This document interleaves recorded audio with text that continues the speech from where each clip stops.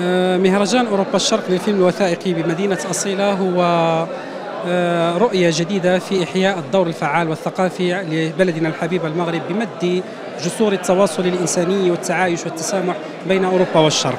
لسنا فقط نترجم طبيعة هذا المفهوم من خلال الصورة ولكن حتى من خلال الوثيقة أي المزج بين الأكاديمي والصورة. مهرجان أوروبا الشرق إن شاء الله نسعى أن يكون أحد المنابر الكبرى في ترجمة الصورة الوثائقية على مستوى آه، الممارسة المهنية السينمائية.